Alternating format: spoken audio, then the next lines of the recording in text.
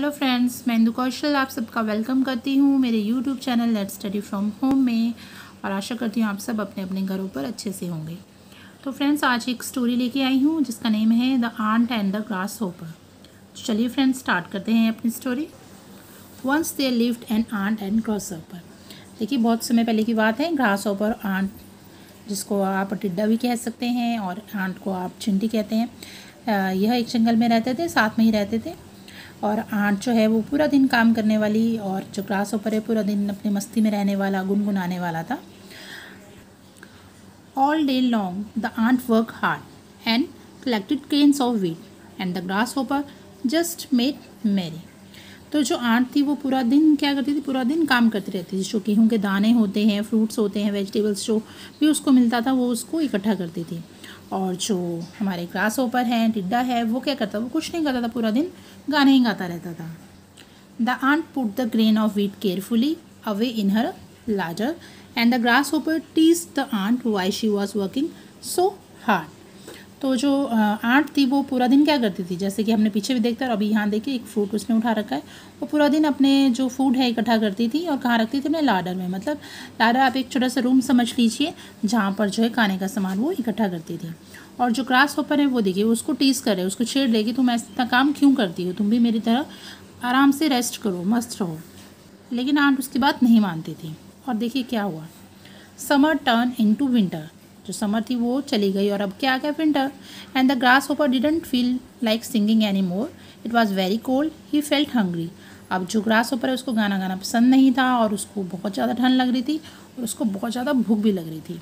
देखा आपने, इसने बिल्कुल भी कुछ भी समर में सेव नहीं किया जस्ट अपना टाइम वेस्ट किया और अपना इसके पास खाना है, ना रहने को घर है और ना ही इसको कुछ ओढ़ने के लिए ऊपर है, क्योंकि इसने उस टाइम बहुत ठंड लग रही है।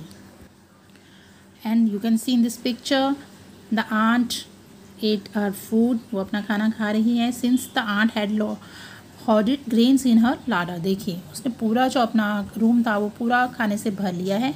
And she have plenty of food and she was warm in her larder and it well देखिए, उसके पास सब अरेंजमेंट है, खाने का अरेंजमेंट है। और आराम से बिल्कुल चेयर पर बैठकर अपना फ़ूड इंजॉय कर रही है। उसको कहीं से भी, अब वो विंटर है, वो बाहर नहीं जाएगी क्योंकि उसने अपने विंटर का पूरा जो इंतज़ाम है, वो समर के टाइम में कर लिया था। अब वो रेस्ट करेगी और वो खाना खाएगी। And the grasshopper poor grasshopper see the grasshopper saw the ant's house he knocked her door देखिए ग्रास ओपर को किसका घर दिखा? आंट का घर दिखा तो वो क्या कर रहा है? उसके डोर के ऊपर नॉक कर रहा है। The ant listen to the poor grasshopper she pitied him and she let him in देखिए आंट ने डोर खोला और उसको बेचारे को उसकी ऐसी हालत देखकर उसको उसके ऊपर दया आ गई और उसने क्या किया? उसको रूम के अंदर इनवाइट कर लिया। And the ant cover the grasshopper with warm cloth she gave him greens to feed upon देखिए, उसने क्या किया? उसको आराम से उसको बेड पे लिटा दिया है, उसको वार्म क्लोथ से उसको ढक दिया है ताकि उसको जो ठंड है उसको ना लगे और उसको खाने के लिए भी कुछ दिया है ताकि उसको अच्छा फील हो। अब वो उसके घर में आ गया है तो उसको ठंड भी कम लग रही है, उसको खाने को भी मिल रहा है तो वो उसको थोड़ा सा बेटर फील कर रहा है। And after that the ant explain to the grasshopper about working hard the grasshopper realise his mistake बाद में जब वो थोड़ा सा ठीक हो जाता है ग्रास ऊपर तो आंट उसको एक्सप्लेन करती है। क्या एक्सप्लेन करती है? कि आपको वर्क करना चाहिए हार्ड वर्क ज़रूर करना चाहिए। अगर उसने भी समर में कुछ वर्क किया होता, अपने लिए फ़ूड इकट्ठा किया होता तो आज उसको पछतावा नहीं हो रहा होता और आज वो इस कंडीशन में नहीं हो रहा होता। तो उसने उसको समझाया और जो ग्रास ऊपर था उसको भी अपनी जो मिस्टेक थी वो रियलाइज़ हुई और उसने आगे से यह कहा कि मैं अब आगे से तुम्हारी तरह ही मेहनत करूँगा और अपने फ्यूचर के लिए ज़रूर अपना कुछ ना कुछ सेव ज़रूर करूँगा, अपना खाने के लिए, अपने पहनने के लिए, हर चीज़ के लिए।